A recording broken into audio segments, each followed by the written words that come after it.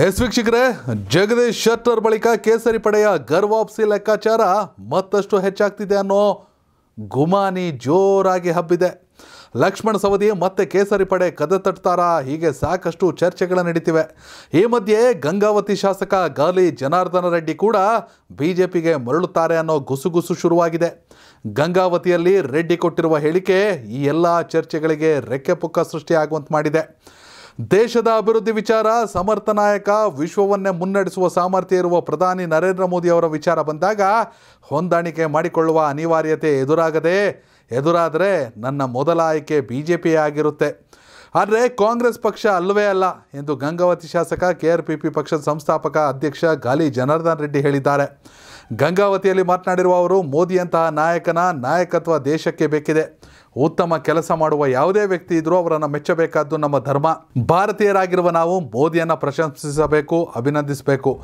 ಹೀಗಾಗಿ ದೇಶದ ವಿಚಾರ ಬಂದಾಗ ಬಿ ಜೆ ಪಿಯವರು ಮುಂದೆ ಬಂದು ಹೊಂದಾಣಿಕೆಯ ಪ್ರಸ್ತಾಪ ಬಿಟ್ಟರೆ ಅದಕ್ಕೆ ನಾನು ಸ್ಪಂದಿಸುತ್ತೇನೆ. ಹೊಂದಾಣಿಕೆ ಆಗುವುದಾದರೆ ಕೇವಲ ಬಿ ಜೆ ಪಿಯೊಂದಿಗೆ ಮಾತ್ರ. ಕಾಂಗ್ರೆಸ್ ಪಕ್ಷದ ವಿಚಾರದಲ್ಲಿ ಈ ವಿಷಯವೇ ಅಪ್ರಸ್ತುತ ಎಂದು ಅವರು ತಿಳಿಸಿದರು. ಇಡೀ ದೇಶದ ಜನ ಮತ್ತೊಮ್ಮೆ ನರೇಂದ್ರ ಮೋದಿ ಅವರು ಪ್ರಧಾನಮಂತ್ರಿ ಆಗಬೇಕು ಎಂಬ ವಿಚಾರ ಹೊಂದಿದ್ದಾರೆ. ಹೀಗಾಗಿ ಕಲ್ಯಾಣ ರಾಜ್ಯ ಪ್ರಗತಿ ಪಕ್ಷ ಪಾಲುದಾರಿಕೆ ಆಗಬೇಕು ಎಂದು ಬಿ ಜೆ ಪಿ ಬಯಸಿದರೆ ನನ್ನ ಮೊದಲ ಆಯ್ಕೆ ಬಿ ಜೆ ಪಿಗೆ ಇರುತ್ತದೆ. ನನ್ನ ಸಂಬಂಧ ಏನಿದ್ರು ನನ್ನ ಮಾತೃಪಕ್ಷ ಬಿ ಜೆ ಪಿಯೊಂದಿಗೆ ಮಾತ್ರ ಎಂದರು. ಮುಂಬರುವ ಲೋಕಸಭಾ ಚುನಾವಣೆಯಲ್ಲಿ ರಾಜ್ಯದ ಇಪ್ಪತ್ತೆಂಟು ಕ್ಷೇತ್ರಗಳಲ್ಲಿ ನನ್ನ ಪಕ್ಷದಿಂದ ಅಭ್ಯರ್ಥಿಗಳನ್ನು ಹಾಕುವಷ್ಟು ಶಕ್ತಿ ನನಗಿಲ್ಲ. ಅದಕ್ಕೆ ಸಮಯವೂ ಇಲ್ಲ. ಹೀಗಾಗಿ ನಾನು ಮೊದಲಿನಿಂದಲೂ ನನ್ನದು ಒಂದೇ ನಿಲುವು. ಮುಂಬರುವ ಲೋಕಸಭಾ ಚುನಾವಣೆಯಲ್ಲಿ ನನ್ನ ಪಕ್ಷದಿಂದ ಐದಾರು ಕ್ಷೇತ್ರದಲ್ಲಿ ಅಭ್ಯರ್ಥಿ ಹಾಕ್ತೀನಿ. ಹಾಕಿರುವ ಕ್ಷೇತ್ರದಲ್ಲಿ ನನ್ನ ಶಕ್ತಿ ಮೀರಿ ಜನ ಮೀರಿ ನನ್ನ ಪಕ್ಷದ ಅಭ್ಯರ್ಥಿಗಳನ್ನ ಗೆಲ್ಸ್ಕೊಂಡು ಬರಲು ಪ್ರಯತ್ನಿಸ್ತೇನೆ ಅಂತ ಹೇಳಿದ್ರು. ಈ ಎಲ್ಲ ರಾಜಕೀಯ ಡೊಂಬರಾಟದ ಮಾತುಗಳನ್ನ ಕೇಳಿದ್ರೆ ಐದಾರು ಕ್ಷೇತ್ರದಲ್ಲಿ ಸೋಮನೆ ಅಭ್ಯರ್ಥಿ ಆಗ್ತಂಗೆ ಮಾಡೋದು, ಹಿಂದ್ಗಡೆಯಿಂದ ಬಿ ಜೆ ಪಿನ ಬೆಂಬಸ ಬೆಂಬಲಿಸೋದು, ಇದನ್ನು ಬಿಟ್ಟರೆ ರೆಡ್ಡಿ ಏನೂ ಮಾಡೋಕ್ಕಾಗಲ್ಲ ಜನಾರ್ದನ್ ರೆಡ್ಡಿ ಅವರು. ನನಗಿನ್ನೂ ತುಂಬ ಚೆನ್ನಾಗಿ ನೆನಪಿದೆ. ನಾನು ಯಾಕೆಂದರೆ ಆ ಪ್ರೆಸ್ ಮೀಟಲ್ಲಿ ಮೊದಲ ಸಾಲಲ್ಲಿ ಕೂತಿದ್ದೆ. ಜನಾರ್ದನ ರೆಡ್ಡಿ ಅವರು ಕೆ ಆರ್ ಪಿ ಪಿ ಪಕ್ಷವನ್ನು ಘೋಷಿಸುವ ಸಂದರ್ಭದಲ್ಲಿ ಬಿ ಜೆ ಪಿಯಲ್ಲಿ ತನಗೆ ಆದ ಅವಮಾನಗಳ ಒಟ್ಟು ರೂಪವೇ, ಅದರ ವಿರುದ್ಧ ಸಿಡಿದ ಪ್ರತಿ ಪರಿಣಾಮವೇ ಕೆ ಆರ್ ಪಿ ಪಿ ಪಕ್ಷ ಅಂದಿದ್ರು.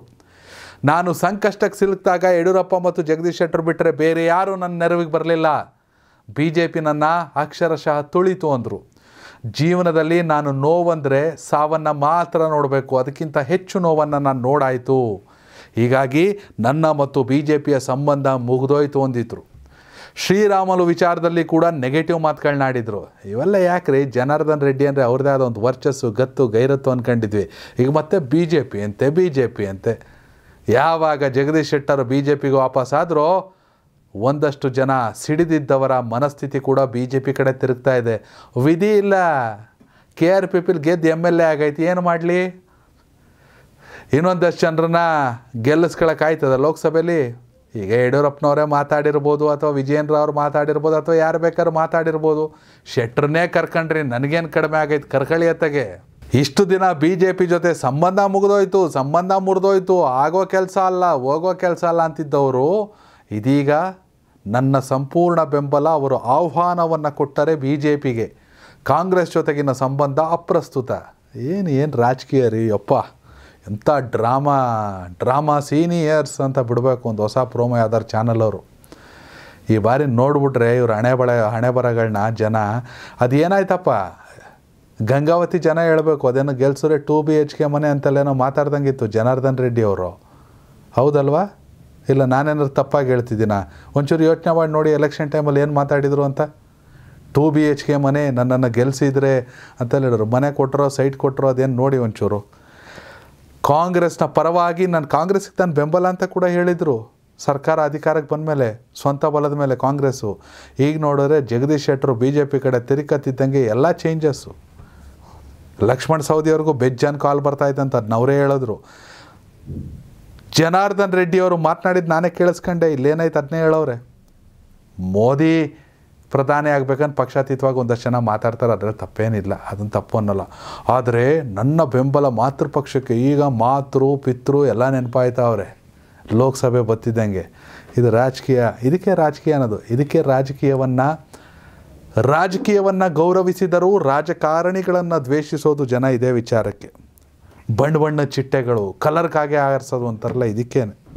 ಒಂದ್ಸಲ ಜನಾರ್ದನ್ ರೆಡ್ಡಿ ಅವರು ಎಲೆಕ್ಷನ್ ಟೈಮಲ್ಲಿ ಎಲೆಕ್ಷನ್ ಆದಮೇಲೆ ಬಿ ಜೆ ಪಿ ವಿರುದ್ಧವಾಗಿ ಏನೆಲ್ಲ ಮಾತಾಡಿರು ಅಂತ ಒಂಚೂರು ಸರ್ಚ್ ಮಾಡಿಬಿಟ್ಟು ನೋಡಿ ಗೊತ್ತಾಯ್ತಿದೆ, ಅಂದಿನ ಹೇಳಿಕೆಗೂ ಇಂದಿನ ಹೇಳಿಕೆಗೂ ನಿಮಗೆ ಅರ್ಥ ಆಗುತ್ತೆ.